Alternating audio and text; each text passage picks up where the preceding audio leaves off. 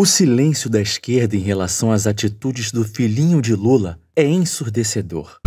Este é a Visão Libertária, sua fonte de informações descentralizadas e distribuídas. Ajude a propagar as ideias de liberdade. Deixe o seu like e compartilhe com seus amigos.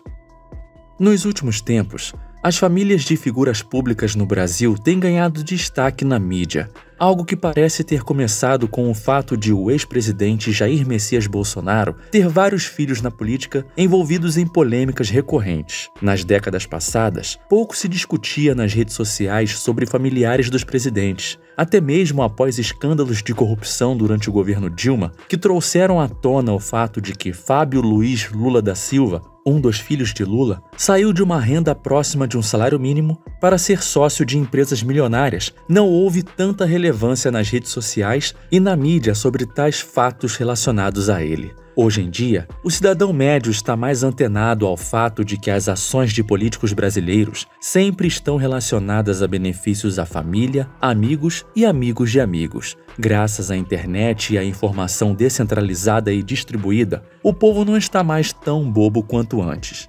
Diante disso, tivemos recentemente duas polêmicas envolvendo o mesmo filho do Lula, que acabou hypando nas redes sociais. A primeira, sobre a agressão doméstica, que recentemente a justiça decidiu não indiciar o filhinho de Lula. Alguém aí surpreso em relação a isso? Já a segunda é relacionada ao fato de que o mesmo filho xingou a atual esposa de seu pai, Esbanja, digo, Rosângela Lula da Silva, também conhecida como Janja, em uma conversa privada que vazou. Nós, do Visão Libertária, preferimos chamar a atual primeira-dama de cuidadora de idosos oficial, mas o filho mais novo de Lula, Luiz Cláudio Lula da Silva, preferiu usar um termo um pouco mais polêmico que, de forma bem ambígua, algumas eleitoras feministas do PT gostam de tratar quase como elogio. Mas primeiro, resumindo a polêmica da agressão doméstica, o filho mais novo de Lula namorava a médica Natália Skincariol. Em abril, Natália registrou um boletim de ocorrência na Delegacia da Mulher de São Paulo contra ele, acusando-o de tê-la agredido com uma cotovelada durante uma discussão em janeiro. Ela também alegou ter sofrido agressões verbais, morais e psicológicas. No registro, Natália afirmou que precisou se afastar do trabalho por um mês devido ao trauma das agressões e foi hospitalizada com crises de ansiedade. Ela relatou ter sido constantemente insultada, sendo chamada de vagabunda, gorda, feia e doente mental. Luiz Cláudio negou as acusações, alegando que a ex-mulher estava praticando calúnia, injúria e difamação.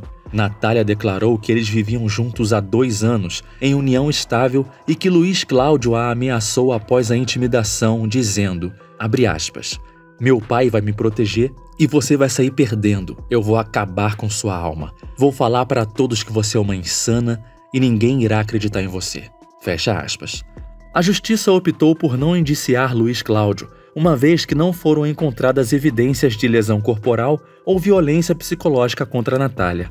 Um ato político que todos os que conhecem o mínimo de juridiquês estatal já sabiam que iria ser feito. O autor Frederic Bastiat, em seu livro A Lei, critica severamente a justiça estatal, afirmando que esta se desvia de seus princípios fundamentais. Ele argumenta que a lei, em vez de proteger os direitos individuais e a liberdade, muitas vezes é pervertida para servir aos interesses daqueles que estão no poder. Bastiat destaca que essa distorção da justiça ocorre quando o governo utiliza a lei para cometer o que ele chama de expoliação legal, ou seja, a apropriação dos bens e direitos dos cidadãos para beneficiar uma minoria privilegiada. Bastiat enfatiza que, em tais casos, a lei se torna uma ferramenta de injustiça, protegendo os interesses dos poderosos e perpetuando a opressão. Ele alerta que essa inversão do papel da lei corrompe a sociedade, minando a confiança nas instituições governamentais e promovendo a desigualdade. Para Bastiat, a verdadeira função da lei deveria ser a de garantir a justiça, protegendo os indivíduos contra a agressão e a coerção, e não de sancionar privilégios injustos. No capítulo A Lei e a Expoliação, ele afirma, aspas, quando, portanto, a expoliação está organizada pela lei para o benefício daqueles que a fazem, todas as classes expoliadas tentam de alguma maneira entrar, por meios pacíficos ou revolucionários, na confecção das leis. Segundo seu grau de iluminação, essas classes podem propor um dos dois fins inteiramente diferentes. Ou querem pôr um fim à expoliação legal, ou aspiram a participar dela. Ai de mim!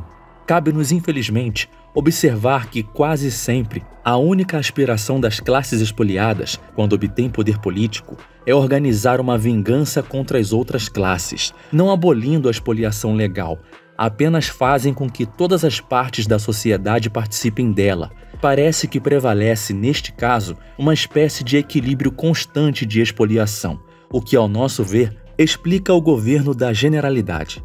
Fecha aspas.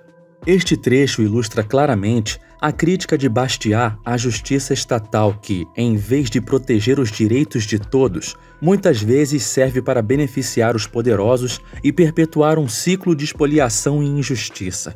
Se eu ou você cometêssemos metade do que o filhinho de Lula cometeu e fôssemos pessoas públicas, já estaríamos presos após toda a comoção pública por trás das ações do Estado. Logo, esperar da justiça estatal coerência é algo ingênuo. O que nos resta é a atitude popular de repudiar tais atos e fazer ostracismo com essas figuras. Infelizmente, não teremos isso da massa esquerdista da população, já que pouco depois da polêmica da agressão doméstica ser abafada, o filhinho mais novo do presidente teve suas conversas vazadas em que ele xingava sua madrasta.